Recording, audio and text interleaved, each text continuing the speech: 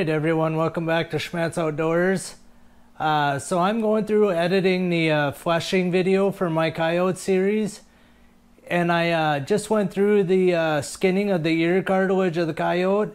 And I'm going to make that a separate video here so you guys can find it a little bit easier. So there's actually going to be an extra installment, or you're watching the extra installment to my coyote series here. There's going to be just the taking the ear cartilage out of a coyote or off the coyote when I'm fleshing them. So I'm just going to take a section of this video that is already in my fleshing video, but I'm just going to cut it out and put it as its own standalone video here for you guys to watch. You know, so you guys can come back if you have issues. You don't have to watch that entire video. You can just watch this short little video here. So again, uh, it may start a little bit abruptly and end a little bit abruptly, but again, I'm cutting it out of my other video. Uh, so if you guys have any uh, questions after watching this, uh, please leave them in the comments below. If you guys have a better way of doing it or what you think is a better way of doing it or a different tip and trick that uh, I may try or other people might want to try, please leave them in the comments below. Otherwise, thanks for watching. Okay, we're pushing right back towards the ear here. So there is like a little piece of cartilage that always sticks kind of forward from where the ear hole. So I'm kind of pushing that back once you get under it. Pushing that back into the ear. Again, I'm gonna keep doing the cheek a little here. Till I get all the way back to the ear hole. All right. Next thing we do, this is one thing again you don't do on any of the other species, is take the cartilage out of the ears. So usually it's connected between the two ears. I just take my knife and cut that little bit of membrane. And what I'm going to do here, you kind of see there's like this little ridge of meat. And that will go right up to this cartilage here. This is the cartilage of the ear. So I'm going to kind of pull out on that and I'm going to just kind of lightly cut right next to the skin until you get that membrane cut off. And I typically trim that off of the side of the cheek so it's not dangling there. Throw it in my pail. We're going to do the same thing on this side. Okay. Take that meat, and throw it in my pail. All right, now we're just going to turn the ear and get the ear up on the top here. We'll do it with both sides. I typically start with the animal's left ear or the ear that's on my right hand side, which is this one. So on the outside of the ear, coyotes and fox have this little extra like cavity on the side of the ear there, on the outside of the ear, and then on the part towards the inside of the head, it doesn't have that. And that's important show, coming up here, so I'm going to show you why. So to get the cartilage out of the ear, here's the trick. So I don't use a pliers or anything like that. I just use my hands and the knife. So what I'm doing is I'm going to lay my fingers flat like that with the cartilage on the top and my fingers kind of inside the ear, but they're back here on the actual hide I want to keep. And you can see how nice and flat that uh,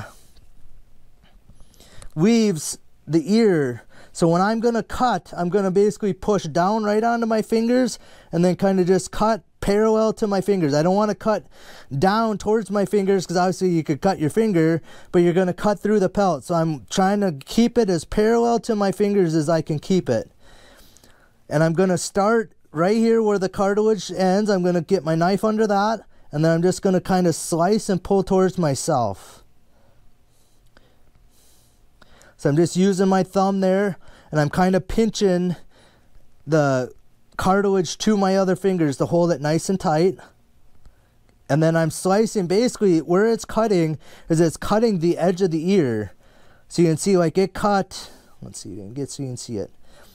You know, it cut, a, I don't know, three quarters of an inch back away from the edge here. Now we're to kind of turn and we're to do the same thing. So what I did is I pulled my uh, pelt I don't know, six, eight inches off of my beam. That way I get a little more slack on my ear.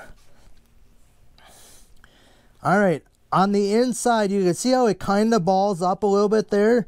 I take my knife, again, and I got my fingers laid like this, and we're gonna kind of slice right up my fingers here. it kind of balls up a little bit right there, but I actually trim part of that off. So I'm actually kind of pinching right on the edge of that fur there. And I'm going to slice kind of in there and get it going. You can see it's kind of cutting through that little ridge there. Okay. And now you can see where I'm to where that kind of meat was when I trimmed, you know, the basically the meat from the head. When I trimmed that off, there's kind of that ridge of meat. I want to make sure I'm cutting under that as I'm going here. And again, I'm kind of slicing this way, not putting a lot of pressure towards me. I'm just kind of slicing the outside of the ear because I got to get the outside of the ear started.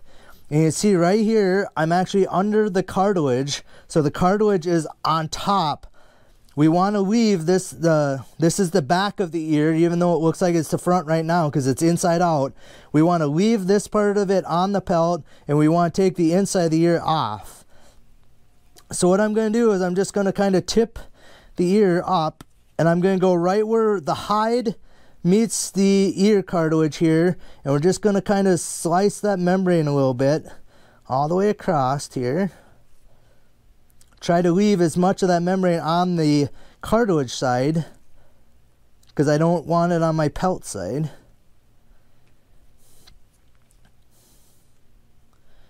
All right, so it's very important to make sure that you get cut under the cartilage all the way to the edge of the ear out there. Sometimes it's hard to get it actually under the cartilage all the way out there.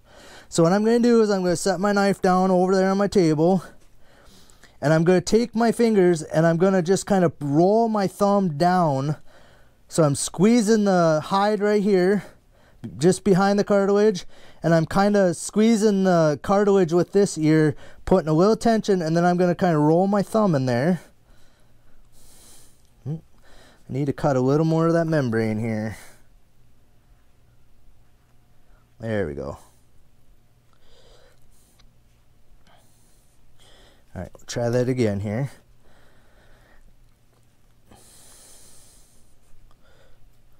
All right, so it's starting to pull right down the edge of that ear.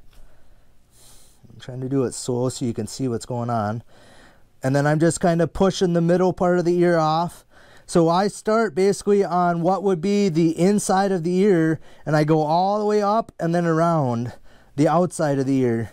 So I'm just going to keep going. So I'm literally just kind of pinching and pulling.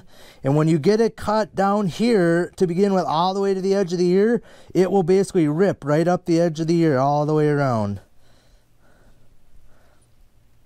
Okay, we're to go around. Okay, now I'm to the tip of the ear. So I basically just grab both tips, the cartilage tip and the hide tip, and I just pull apart. All the way down. And it'll get me right to the end.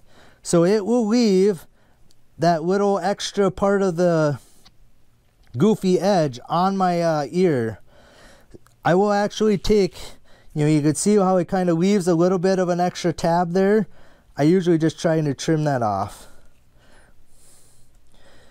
Okay, so there you can kind of see that kind of dull part that didn't have hair in it before. There's no cartilage under that, so I don't need to take it off. So that ear is done, just like that. Okay, we'll go over to this side. So I like to start on the outside of the ear, get just underneath that cartilage. I'm kind of pinching with my fingers and slicing, making sure I'm staying under the cartilage, you know, between the hide and the cartilage on that side. We'll grab the inside of the ear here, kind of get it laid flat.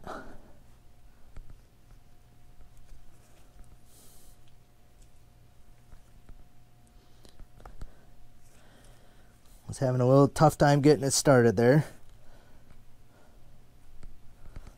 Okay.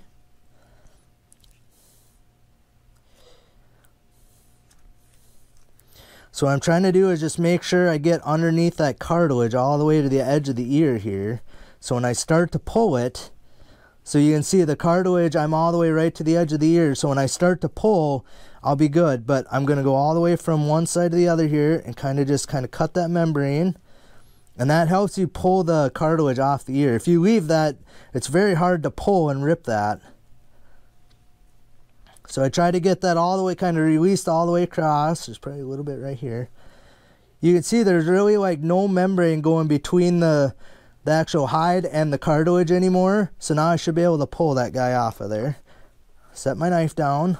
And again, I start on the inside of the ear, the ear, the part of the ear that's towards the middle of the head. And I'm gonna kind of take my finger. I just kind of pushed my thumb in there and then kind of roll it right along the edge of that guy. Push the middle of the ear off a little. Go right down the edge of that ear. I know some guys use pliers and other things to do it. You can do this any way you would like, but you do have to remove the cartilage out of there or you'll have issues with the hair slipping because the cartilage won't let, the, let it dry. Okay, that time that extra little flap that I trimmed on this ear peeled right off the ear. So it's not, there's no little flap on that side of the ear. All right, so that's that's actually one of the bigger pain in the butts about fleshing a coyote is taking care of the ears. Alright guys, again, that was just a snippet out of my fleshing video. Uh, it's removing the ear cartilage and that was it. That's all I wanted in this video. Just try and keep it short and simple so you guys can come back and find it if you need it. Uh, again, if you guys got tips and tricks, leave them down below. Uh, I'm happy to hear them. I'd like to hear what you guys think. Um, Otherwise, we'll see you on the next Schmattz Outdoors video.